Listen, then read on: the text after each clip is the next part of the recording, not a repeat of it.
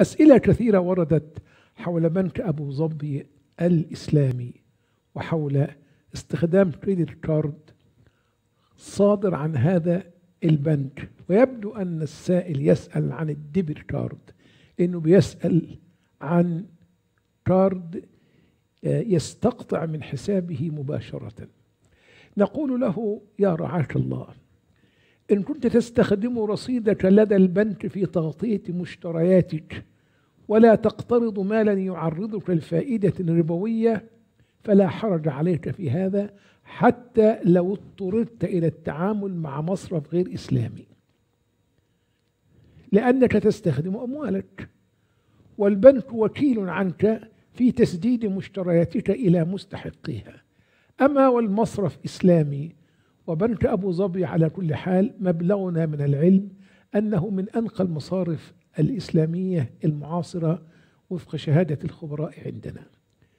ومن ثم فإن ما تذكره يا رعاة الله على أصل الحل.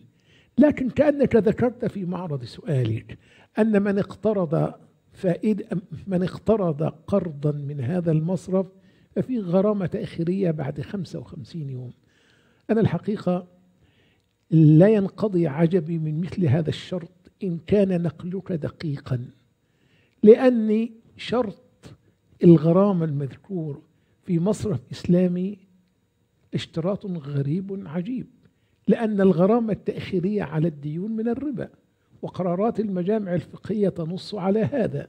لعل هناك آه اضطراب في النقل واحيانا يقال وما آفة الأخبار إلا رواتها أو قد يكون لدى القائمين على المصرف تأويل لا أعرفه لكن مبلغ علمي أن الغرامة التأخيرية على الديون أو القروض من قبيل الربا وقرارات المجامع الفقهية تدل على ذلك صراحة وتنص على ذلك صراحة. على كل حال في حالتك أنت أنت تقول أنت تجتنب الاقتراض تستخدم فقط ال card في سداد مشترياتك. وال card يستقطع من حساباتك. فعلى بركة الله ليس عليك حرج فيما تذكر. أسأل الله لي ولك التوفيق والسداد والرشاد. لا حرج في هذه الحالة إذا أعطاك البنك cash back ما فيش فيها إشكال لأن البنك بيأخذ خصم من التجار الذين باعوا لك. يقتسم هذا بينك وبينهم. لا حرج. في في حدود ما ذكرت من معلومات بارك الله فيك.